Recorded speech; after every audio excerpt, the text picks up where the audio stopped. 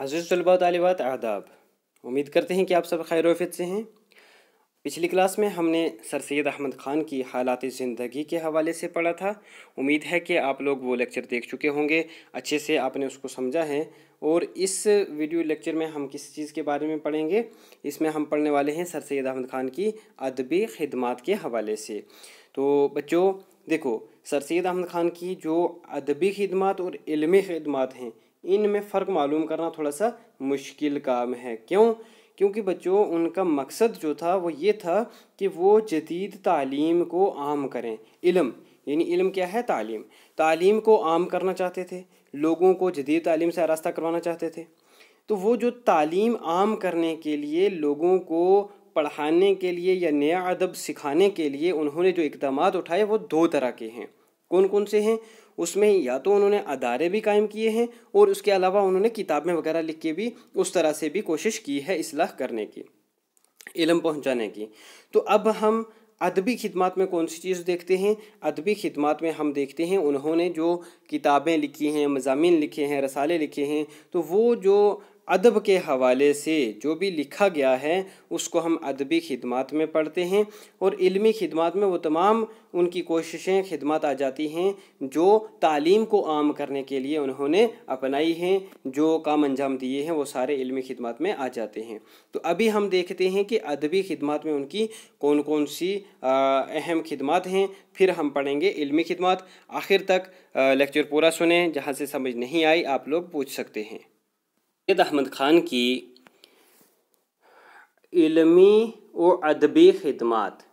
लेकिन इस क्लास में हम सिर्फ़ पढ़ने वाले हैं अदबी खदमात। तो आप लोग यहाँ पर जब ये नोट लिखेंगे तो लिखिए सर सैद अहमद ख़ान की अदबी खदमात। अभी फ़िलहाल आप इलमी को रहने दीजिए, ये हम अलग से पढ़ेंगे। ठीक है बच्चों, सर सैद अहमद ख़ान की अदबी खदमात कौन कौन सी हैं? सर सैद अहमद ख़ान एक आला पाए के मुफ़क्र और अदीब थे। बच्चों, ये कुछ रिफ्लेक्ट करके काले निशान बीच में आ रहे हैं। तो आपने जो मैं बोल रहा हूँ, वो सुनना है। जहाँ से समझ नहीं आए तो वो आप खुद अपने हाथ से लिख लेना कि सर सैद अहमद ख़ान एक आला पाए के मुफ़क्र और अदीब थे। मुफ़क्र हो गया फ़िक्र करने वाले थे। गौर व फ़िक्र करने वाले अदीब से क्या मुराद है? लिखने वाले मुसन्फ़ थे, राइटर थे। आला पाए के बहुत बड़ी सोच रखने वाले। आपने मुख्तलिफ़ मौज़ूआत पर कलम उठाया। मौज़ूआत जो है, मौजू की जमा है तो मौजू क्या हुआ? टॉपिक। उन्होंने यानी हर एक चीज़ पर लिखने की कोशिश की है। अदब, माशरत, सियासत और मज़हब। ज़िंदगी का कोई गोशा ऐसा नहीं जो सर सैद की तवज्जा से महरूम रहा हो। क्या कहते हैं? कि सर सैद अहमद ख़ान ने लगभग हर एक मौजू पर लिखने की कोशिश की है जी अगर अदब की हम बात करें, अदब से मुराद क्या है?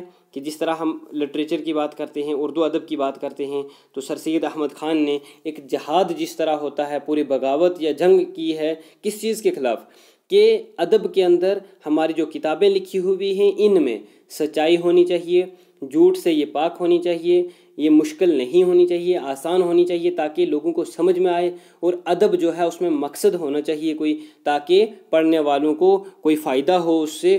कोई भी चीज़ अगर हम लिखते हैं, उसका कोई ख़ास मकसद होना चाहिए। तो अदब के हवाले से भी इन्होंने बहुत सारी खिदमत अंजाम दी हैं। माशरत, बच्चों माशरत किसको कहते हैं? माशरे के बारे में। तहजीब व माशर, हमारा कल्चर आता है ना, समाज आता है, सोसाइटी। उसके बारे में इन्होंने बेानतहा लिखा है, लोगों की असलाह करने की कोशिश की है। ज़िंदगी का सलीका, तरीका जो है सिखाया है कि ज़िंदगी कैसे गुजारनी चाहिए, क्या अच्छी आदतें हैं, क्या ख़राब हैं, हमें मज़हब जो है उसको किस अंदाज से हमारे समाज के अंदर जो है अपनाना चाहिए, रहना चाहिए। तो यानी अपने हमारे जो रिश्ते हैं उनको कैसे बनाना है, भाईचारा है आपसी, वो कैसे कायम करना है, कौमी इतिहाद कैसे बनाए रखना है तो ये तमाम चीज़ें उन्होंने इन पर, इन इन मौजूद पर लिखने की कोशिश की है। उसके अलावा सियासत सियासत यानी कैसी होनी चाहिए, लोगों को सियासत में कैसे हिस्सा लेना चाहिए, आगे बढ़कर जो है वो अपने आप को कैसे लोगों के बीच में या अपनी बात कैसे रखी जा सकती है, अपनी बात कैसे मनवाई जा सकती है तो ये चीज़ें ऐसी, ऐसे ऐसे मौजूद पर उन्होंने गौर किया। मज़हब के हवाले से सर सैद अहमद ख़ान ने अगर हम देखें तो मौलाना ताफसन हाली से कहा था कि मैं शायर नहीं हूँ तो आप कोई ऐसी नज़म लिखिए कि जिसमें लोगों को हम इस्लाम की तरफ़ दावत दे सकें, इस्लाम का या हमारा मकसद क्या है इस दुनिया में आने का वो समझा सकें। तो मौलाना अल्ताफ़ हुसैन हाली ने मदो जज़र इस्लाम लिखी थी, जिसको हम मुसदस कहते हैं। मुसदस मदो जज़र इस्लाम तो जिसमें उन्होंने पूरे इस्लाम के हवाले से बताया था कि मुसलमानों का यहाँ आने का मकसद क्या है? मुसलमान कैसे भटक चुके हैं? सही रास्ता कौन सा है? तो इस तरह से मज़हब के हवाले से भी उन्होंने बे इंतहा खदमात अंजाम दी हैं। ज़िंदगी का कोई गोशा ऐसा नहीं जो सर सैद की तवज्जो से महरूम रहा हो। महरूम से मुराद क्या है? कि जिसकी तरफ़ उनकी तवज्जो ना गई हो। तो यानी हर एक गोशा होता है कोना।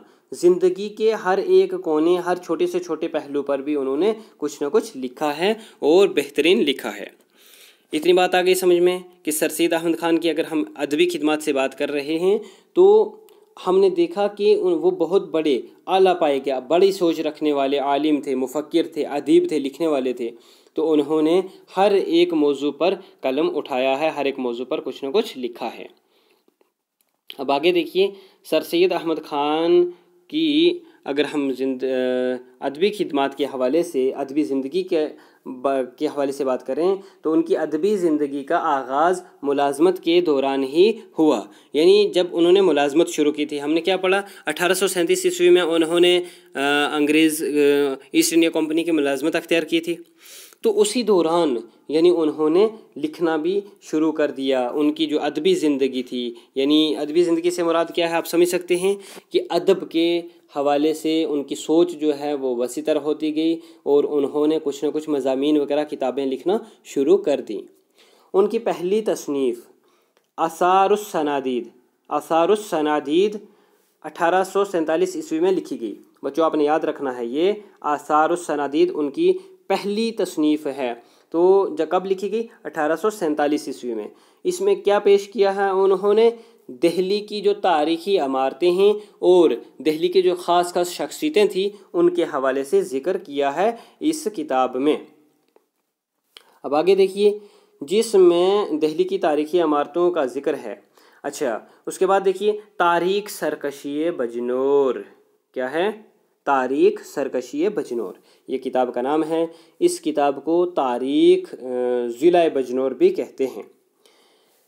इस ये कौन सी किताब है? इस किताब में सर सैद ने ज़िला बजनौर में बगावत का आँखों देखा हाल बयान किया है।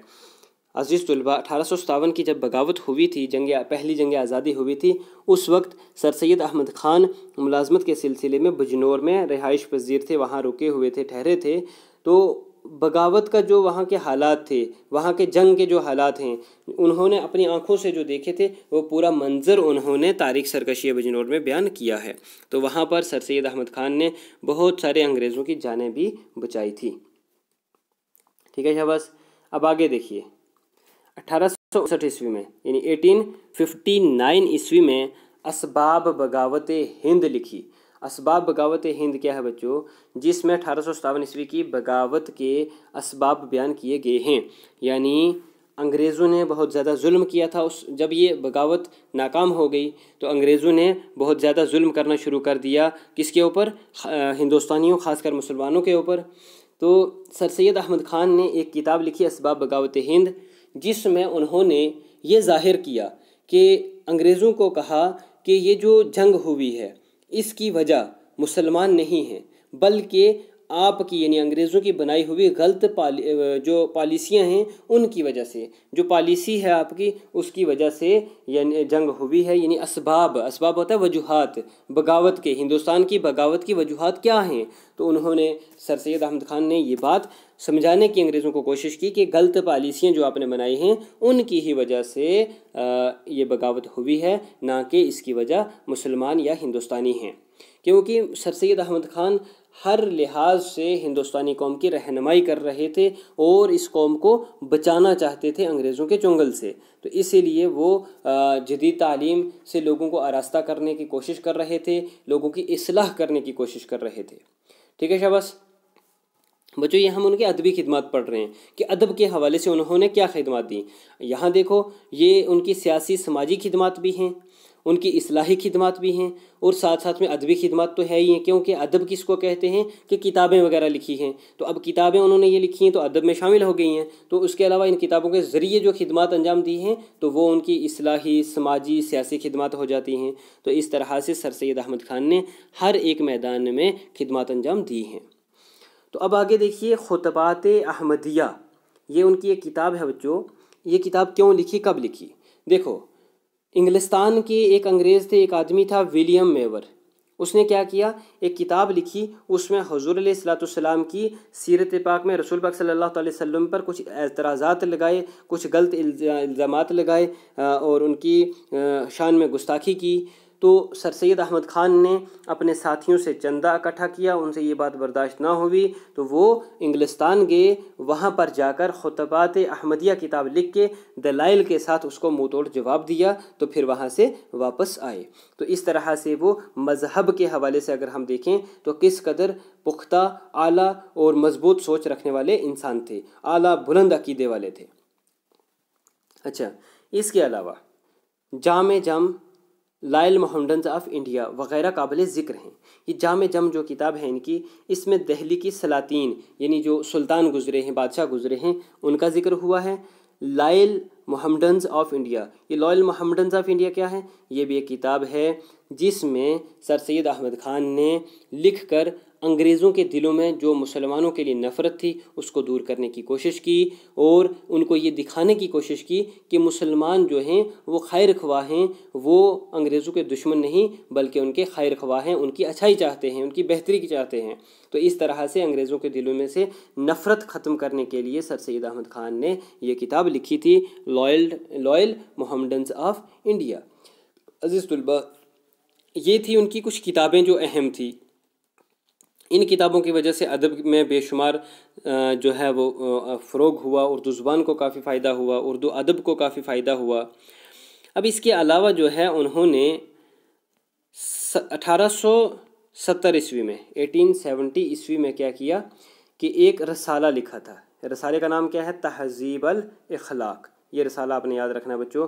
रसाला तहजीब अखलाक कब लिखा? अठारह सौ सत्तर ईस्वी में। रसाला किसको कहते हैं?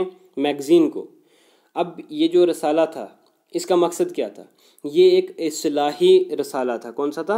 असलाही असलाह से मुराद क्या है कि लोगों को जीने का सलीका सिखा रहे थे, दुरुस्ती कर रहे थे, खामियों को दूर कर रहे थे।